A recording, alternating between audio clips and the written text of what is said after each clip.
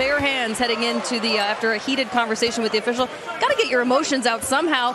He coached up these guys pretty tough. He was hard on them with. The- Coach, I need to talk to you about what you've been doing in the weight room because um, you had a performance here in the timeout huddle when this thing you you snapped this like a twig.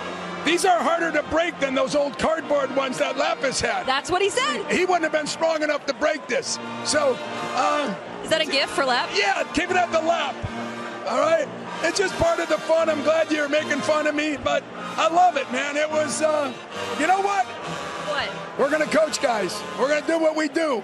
Instead of, you know, not letting them uh, get away with this and that, we're going to be hard on them because defense wins games.